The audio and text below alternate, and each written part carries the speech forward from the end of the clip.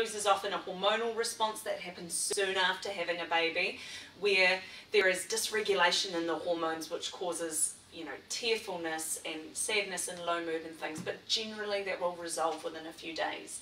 Postnatal depression is that persistence in low mood, and it's off, it's generally um, associated with feelings of hopelessness. I think the other thing is um, that it can happen in any time in that first year. Yes. So, um, you know, it's important to talk to people if you're feeling that way. I think sometimes, a lot of the time, we go, oh, I'm just so tired. Because mm. it is tiring having little ones. Yeah. Um, so sometimes people go, oh, it's just I'm so tired. Yeah. Yes, absolutely. Tiredness can feel similar to depression, like there's some similar um, symptoms. symptoms or how you're feeling. Um, but the tiredness, if you get good sleep, and mm. it's not just one good night's sleep, and we know mm. it's hard, but it's capturing the moments of sleep that you can get because we know that it's really full on if you're waking up with the baby.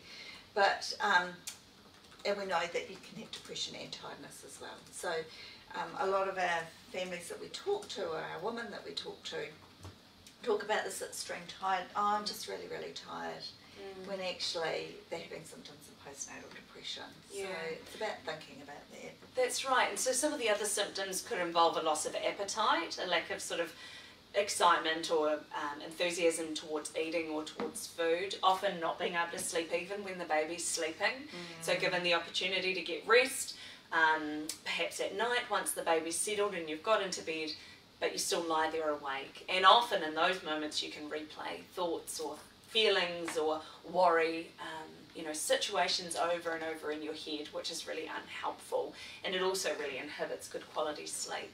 But yeah, that lack of appetite, that um, difficulty with sleeping, and then often a loss of desire in things, um, that, you know, in pleasure, things that you used to find really enjoyable, enjoyable. You know, whether it was cooking, whether it was um, catching up with friends, whether it was going out for walks and um, whatever it might be, but just a lack of pleasure in the things that you normally would enjoy doing. These are some pretty strong indicators that there might be some depression going like on. Finding things that used to be quite normal really hard to do, like getting up, having a shower. But we know that that's really hard work with a baby anyway, just you know managing to get, get a shower. But where the feelings of how you're feeling in yourself are preventing you from doing those self-care and those nurturing things, eating, yeah. sleeping, showering, just your normal daily, wanting to go out, wanting yeah. to go meet up with friends as well. Yeah, absolutely. I can speak from my own situation that um, there were times where things were feeling really difficult and I would become fixated on them in the postnatal period. So I might be struggling a lot um, with my toddler's behaviour, for example, when I had had my new baby. And I was thinking, gosh, my toddler's behaviour is so difficult and so out of control. And but it was actually that I was really struggling in myself, so my capacity to deal with that behaviour had decreased. Mm -hmm. And you might see that manifest in lots of different ways. Um, you might have a whānau member who um, is really fixated on the baby's sleep and is mm -hmm. really struggling. And when you talk to them about the sleep, you think, kind of just sounds like normal baby sleep. Or it could be about toddler behaviour. It could be about some stressor within um, within their life, financial or the household or otherwise. Often these are symptoms of you know decreased mental capacity in the mother to deal with some of those more difficult sort of life situations. Could be an indicator of postnatal depression. And I think it's important that family notice. Yeah. so sometimes we find that family go, oh, Gosh, that's exactly how we've been noticing, but the woman hasn't noticed it about herself. Yeah. Absolutely, mm. absolutely. Mm. So talking to somebody is so important. You know, finding someone that you trust, that you're comfortable with, and it can be really difficult when you've built a trusting relationship with your LMC or your Plunket nurse to then step into a place of vulnerability to say how you're thinking and feeling. Um, and so they might not be the right person, but it's just important that you talk to somebody, whether it's your GP, a practice nurse, Plunket line, the mental health line, finding somebody that you are comfortable to share your thinking and feeling with, to check in with them and say, you know, is this is this okay, or is this something I need some more support with? And sometimes it's if if the per first person that you've told hasn't been helpful yes. for you, it's going to somebody else That's right. So, because sometimes your friends can go, oh no, no, no, that's how I. That's felt. how I felt, and I got over that. That's fine. Yeah, and know. then you're really struggling inside, Mm. and you're feeling like people are just going, oh no, no, no, no, you're fine. Do go and find people who can really help you, who really, truly, authentically listen to what you have to say, because there's so many people who go, okay, well, let's make it all better, and let's give you lots of advice, and you just want to be listened to. So Yeah. find those people who can truly listen to your story. Yeah, and sharing your story and telling your story is incredibly therapeutic. You know, sometimes that in itself, and then putting some plans and supports in place to build that capacity for you to be a parent, sometimes that's all it takes. And other times you'll need more intensive intervention, and that's okay too. I think there's a lot of stigma around about. Um, you know, taking that next step, getting a referral for to mental health services, seeing your GP, um, poten- potentially um, accessing medication for depression or for maternal anxiety. But I just really encourage you to talk it over with people who have walked that journey before, that peer collegial support, that's totally invaluable at that time. And I think while we're talking about medication, it's about having some women worry if they're breastfeeding about the um, medication passing through their breast milk. Your GPs are the best people to know, or your nurse practitioner are the best people to know about the right medications that work with breastfeeding. That's right. Um, so, and it's about having a really good talk to them about it because it's it has a chemical reaction that for some, and it doesn't, it's not an instant. They say it takes a good couple of weeks. That's having strategies in place if you are having using medication or going on medication. It's having strategies and people around you to nurture you in that time while the medication starts to work. Um, but it's about talking to people about it. If you're wondering or you're worried, talk to people. The best thing you can do is those thoughts and worries in your own head might seem small or silly to you, but others want to help. So it's about having those conversations with people. Yeah, and we've talked before about providing people who are your support people, mm. people in your whānau, with um, things they can do that, that are helpful to you. It might not be coming in and swooping in and taking the baby mm. away, and that's not always the most helpful thing. There might be times where that's required, but on the whole, it might be having someone who can drop off a meal, or throw the washing on the line, or take the toddler to the park so you've got some time with Pēpi. It's about you know strategies that you can use to increase that capacity for you to be with your baby. Mm, mm. Yeah. It gives you the opportunity to have the wonderful moments with your baby, the time to have some breaks and some rest and to nurture yourself and care for yourself. Um, people generally usually want to help. So sometimes they go, just let me know what I can help. Thinking of things that would be helpful for you, because as Katrina said, having somebody swoop in and take the baby off you, that mm. might be they're your, they're your precious pēpi that you want to have that nurturing, loving time. But sometimes when they're crying, you might want to hand them over to somebody else to give you a bit of a break. It doesn't Yeah. mean that you can't settle your baby. It just means that somebody else with a bit more energy at that moment um, has that energy to come and support. Mm, I do um, think also thinking about some of the um, symptoms or the ways that um, depression is experienced. Some people actually get quite ang- feel quite angry. yeah. Um, they might be angry with their partner, or it's affecting their relationship together. Yeah. Um, just being parents does always impact your. quite often will have an impact on your relationship. There's Yeah. some who have joy and it brings them closer together, and there's others with their past parenting experiences, and you come from completely different parenting experiences, or you're both feeling really tired, um, stressed, you've got a baby who cries a lot. So it can affect your relationship, but it also can increase your anx- anx- anxiety or your anger. Yeah, that's right. And I think what's really important is communication. You know, partners are incredibly understanding, but when they don't understand what's going on and what is, you know, what has been leading to this outburst or this anger, or, you know, it's really hard for them to support you in that. And so, um, having those conversations, you know, when you get those moments where you have time to have conversations about saying, hey, look, I know that I'm really, my work is really short at the moment. I know that I'm being really short. I'm not angry with you. I'm not trying to be. I'm just trying to manage the best that I can at the moment. You know, and putting some strategies in place around that. You know, I'm getting really frustrated because, you know, the, the dishes are just sitting there and you're resting on the couch and you know and that sort of thing so putting some things in place around that hey i'm just going to rest for five minutes and then i'm going to get up and do those dishes you know communication is the key to making things flow so much more smoothly in a relationship And it might be having a word or something that means I need your help now. Yeah. Between each of you. You know, it might be like, you know, I really mean I need help now, not Yeah. um, in half an hour or whatever. I think the other thing that's really important is to is that men get postnatal depression too.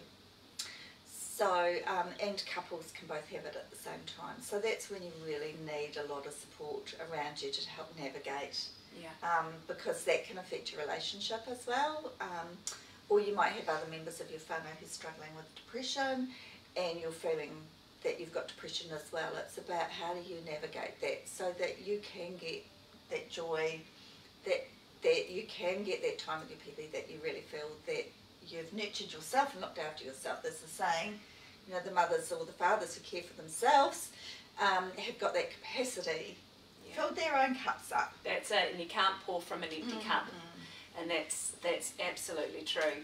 Um, so we've talked a lot about depression. It's probably the most commonly spoken about um, struggle with our mental health in the postnatal in the postnatal period. But let's take a moment, a few moments, to talk about anxiety because it's something that's becoming increasingly more common, um, and it's something that you might not even be asked about in the postnatal period. And because there's not a huge amount of information about there out there, it might not be something you recognise in yourself either.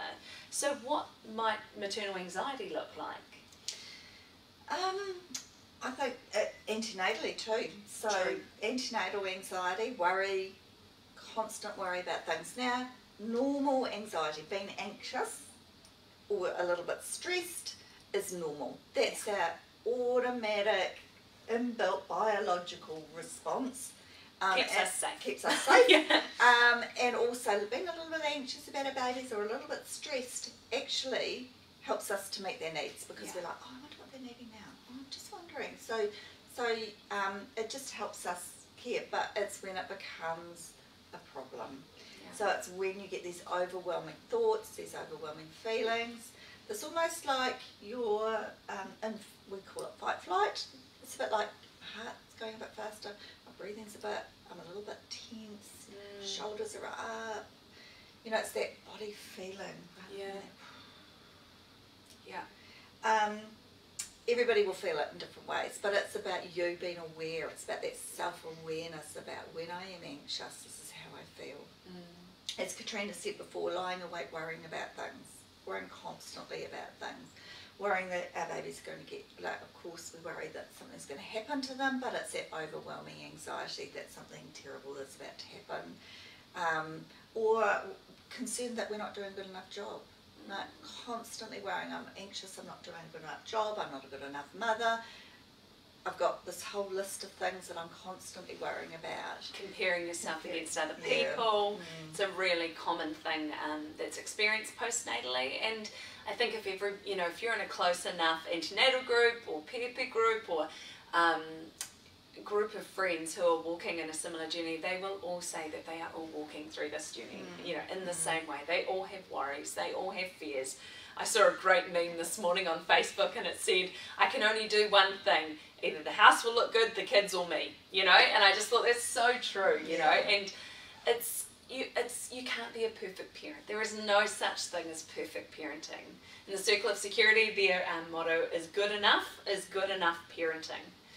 And that's actually just talking about Circle of Security. Is there some really great um, Animated little clips. animated clips? So you Google Circle of Security and animations, um, and you'll come up. There's three. So one of them talks about the circle. So it talks about you know, letting your babies go out and explore. You know, it might be just exploring, just looking around. They might be exploring, just you know, having a bit of an experience, touching and doing things.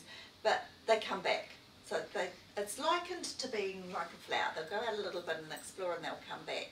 Now, when they're tiny, they don't physically go out and explore. So it might be that they're just having a little bit of time looking around, or they might be just having a bit of a look around in their bed, wherever they are, having a bit of a sleep. They've woken up and they're having a bit of a look around, exploring the world.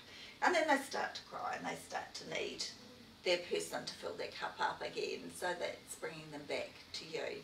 Now, sometimes when you're not feeling very well in yourself, um, or you're anxious, you might be worried about what's going to happen if this, or you're feeling like I don't have that much that much emotional to give to look after myself, let alone to care for them as best as I can. So it can be then you start second guessing yourself. I think. Mm, yeah. That's right, and so you might miss the baby's cues, and this is quite common um, that we see with women who are experiencing difficulties with their mental health postnatally and antenatally. Um, in a different way, but you might see the baby will be queuing for something quite obvious. You know, this baby is really hungry and they're looking, you know, looking for the food and looking for the food and the mum's just not seeing it because they just they just can't see it in that moment. Mm-hmm. And so it's about having the people around that can say, instead of going, oh, look, the baby's obviously hungry, having someone who can gently say, hey, I wonder if it's that the baby's hungry.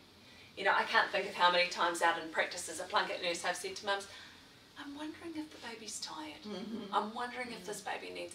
And the, the mum might think the baby's queuing for food, and actually, this baby is very tired and is trying to queue to go to sleep. So, if you're noticing in yourself that um, your mood is dysregulated, you're feeling flat, you're feeling, just be aware that you might not be as uh, the cues might not be as obvious to you. So be really mindful about looking and thinking, you know, just watching your baby, pausing and thinking, what is my baby trying to tell me? And like Anne said, where is my baby on the circle? Are they going out and exploring? In which case they want me to watch over them and delight in them and or are they wanting to come back in and get comfort and support and I'm, you know, oh I'm oh I'm not ready for this. I don't want to I want you know, I'm trying to quickly do this, I want to get the house perfect or or whatever it might be. So it's thinking, where is my baby on the circle? What do they need from me in this moment? And how can I meet that need in a way that's realistic for what I can do at the moment. And I think, particularly if you're anxious, I think your brain gets so busy that actually stopping, pausing, and mm. we say just give a bit more of a pause, just so that you can actually go, I'm wondering what you're trying to tell me at the moment. What is it? Now, we don't get it right all the time. Of course not. I think they say that we get it around 30 or 40% of the time. We're somewhere we're mismatching with our babies. They're cueing us for something and we're misreading them a bit. Or we're trying to repair. And that's actually really important. The rupture and repair, where we make it better for our children, mm. um, helps them learn about rupture and repair. So please, the biggest thing is don't expect so much of yourself. No. Please, please, please don't expect to be the perfect parent because I think if we expect ourselves to be perfect parents, we, we actually end up doing more harm to ourselves and our children because yeah. the world's not perfect. We're not perfect, we make mistakes. Yeah. It's about how we make it better that is the important thing. Absolutely. And that helps us it helps our children, it takes less pressure off us because when you're trying to be perfect all the time, your expectations of yourself gets higher and higher and higher and then you start to make more and more things start going wrong and then you're more and more critical of yourself. So it's about, okay, I didn't do that so well. yeah. That didn't go so well today. Yeah. It will be better.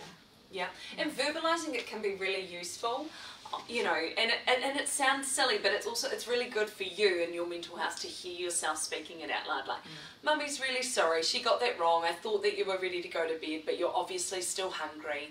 You know, come on, come have a cuddle with Mummy, and we'll give you a little bit more milk before bed. You know, it, it, those that sort of communication is that's the repair that Anne's talking about. Like, oh, I got it wrong, but you know, we can make it better, and that's really important because, like Anne said, kids learn how to repair you know, when there is a, a trauma or an upset in their life from us. You know, they learn that from their circumstances around the way that we have dealt with stress and we've dealt with that rupture and repair. Mm. The other thing that's really important um, and is incredibly difficult to remember when you are in it is that how you are feeling is temporary. Mm. You know, this mm. this stage of life that you're going through, the intensity, particularly in the antenatal and early postnatal months, the intensity is so, so intense, but it is also so temporary. And anyone with old, older children will be able to say that to you, like, oh my gosh, you know, you don't know how you get through it, but you look back and it's already gone. You know, and so it's about holding on to those joyful moments, you know, regardless of how you are in yourself, regardless how your mental health is, you're not going to get that time back. So it's about, you know, noticing and capturing and holding on to the joyful moments with your baby. And I think that's a really important thing is creating joy moments. Yeah. So it might be um, just thinking, right, I'm just going to sit, sit and watch my baby for the moment. And uh, just absorbing those smiles Yeah. or the giggles or the just them being calm and happy um, and not crying. you know, just take those moments and think, wow, I did this. You know, so it's about finding those moments which are hard when you're feeling depressed. So it's starting with little moments of joy because finding joy, doing things like very simple things like massaging your Mm, baby, mm. seeing them calm, Skin to skin, skin to skin, showering together or bathing together if that's comfortable for you. Mm. Yeah. And if you're feeling that you're not having a lot of joy moments, it's about thinking and talking to others about how you can have those joy moments. So thinking about how am I going to get my mental health well enough so that I can have these. Yeah. Um, and it might be at that time that somebody else is having some of those joy moments with your baby or your toddler or your preschooler. It's about that's joyful for them. Yeah. So it's about thinking, I'll get those moments too. Yeah. It's about making those moments or sitting and thinking, right, I do, you know, having little moments of joy. It might be reading to them, it might be touching their hand, it might be massaging Might them. Might be taking them out for a walk. It might, you know, it, it- it's about what fills your cup too. Because, like we were saying before, you can't pour from an empty cup, and um, and sometimes it's really important because of brain development. We know that you know babies' brains grow from their communication and their um, their contact and interaction with us through their experiences.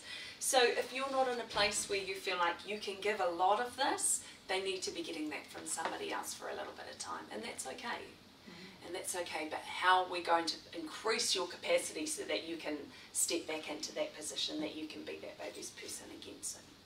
And I think, I mean, that was a really good point before about getting out and about too. Yeah. Some of the really good, and it's, you know, sometimes we hear people just say, need more, you know, get more exercise, get more yeah. sleep, eat well. Actually, they are a reason. You have to think that those moments are you nurturing your body Yeah. so that you can care for yourself and you can care for your your tamariki. So you might, and I think when, particularly if you've got depression or anxiety, when you've got other kids as well, when you just don't have just a baby, that can add extra complexity. When you've got your first baby, there's the extra complexity because you haven't done it before. So you've got all that stuff. So everybody's story is different. So Yeah. don't judge yourself. Your story is your story, but it's doing things that nurture yourself. So it's about absolutely sleep. It's one of the most mm. important things that you can do. Now, if you've got a baby who wake, is waking up a lot at night time, it's thinking, how can I capture enough sleep? Because sleep exhaustion is torture, really. That overtiredness. So that adds to how you're feeling Of course. exercise, getting out and getting your body moving is really Mm. important. Mm. It gets all your body's hormones going, um, and eating really well is really important too because that nurtures your body. Yeah. Now, um, it's about fluid as well.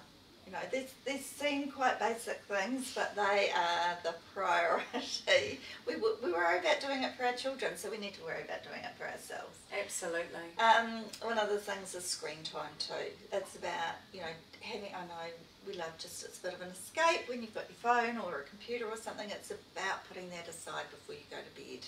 Because they say we should ideally have half an hour, I think, before we go to bed when we don't have screen time. So that's just you preparing yourself, having nurturing showers, doing those sort of things that actually nurture yourself so that you can nurture your wee ones.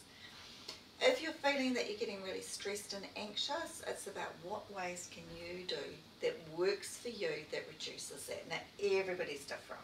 Absolutely. So that could be mindfulness. It could be treating yourself. You know, I remember early in the postnatal period having stashes of little treats that were just for me.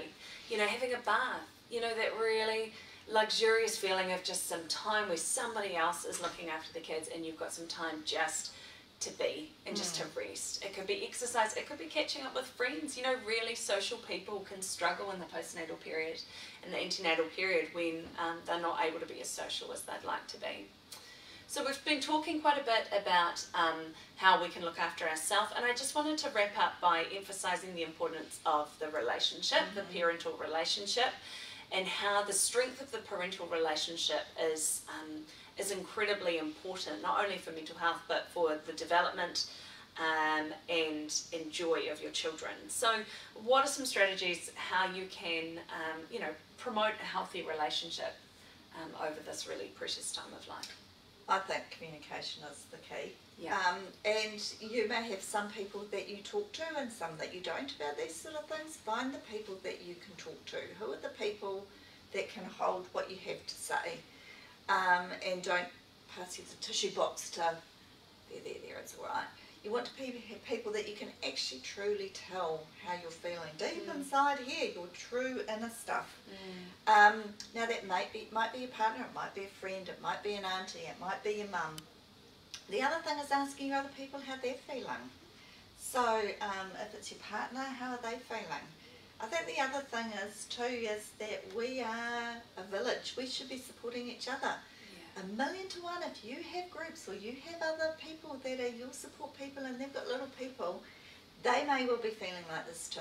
So um, you might not be experienced depression, stress or anxiety. Think about your friends who might be. Be open, be the one that's there to nurture and care for others. Mm. But we quite often find that people who have similar experiences find it helpful to talk to somebody who has similar experiences. So find through your networks. Talk to your Tamariki Ora provider, your nurse, your kaiāwhina, your health worker, Plunket Line. They will help you connect with the people in your community who can help. Now, different areas have different services, so we're not going to run through what they all are. There's always your GP, there's your practice nurse, there's your nurse practitioner, um, mental health mental line. health line. Where you can text or call um, anytime, day or night, and we'll put the contact information for that um, at the end of this chat. And it's not about just talking to them once. It might be that they help you with that initial stuff. You might have counselling services. It might be a support group. It might be that you just want to do your own stuff with your whānau. Um, but you can ring Plunket Line. You might be on a path, on a journey to feeling better, mm. but you're trying to make some decisions about something that's starting to get you anxious again. Bring them up, have a chat. That's what they're there for, to help you with the parenting, to help you make some of those decisions. Because when you're feeling depressed or anxious or stressed, it can be harder to make decisions. Mm. So I think the other thing is when you're stressed, it's about calming yourself. So because when we get stressed, we go into our lower brain stem. We think fight, make decisions that we're not so sure about. Um, calming ourselves helps us to think about things a bit more rationally. So yeah, yeah. awesome. Um, we've just got one question that's come through. We talked about relationships, um, also about if you're doubting yourself. You know that I think um, we always doubt ourselves as parents. Yeah. Um, I know I've got two. I always have, you know, wondered about am I doing the right thing? What's happening? Have I made the right decision? It's about being kind to yourself. Absolutely. We can't change the past. What we can, we can repair things that haven't gone so well. Mm. And it's about saying today is a new day. Today is a new step. Today is the day that I care for myself. I care for my pēpi. I care for my tamariki. I care for my people around me. Mm. Um, and I find joy. We really want you to delight and um, enjoy your tamariki. Absolutely. And just like Anne said, every day is a new day. You know, your mental health is always on a continuum. Mm-hmm. And, you know, there will be good days and there will be not so good days. And that's okay. You know, tomorrow will be a new day. Yeah, I think that's really important. We always expect ourselves to be happy, but sometimes we're not always happy. Yeah, and that's okay. About getting help. Awesome. Alrighty, hey, thanks so much for joining us this afternoon. We've had a really lovely time with you. Um, and we hope this has been useful.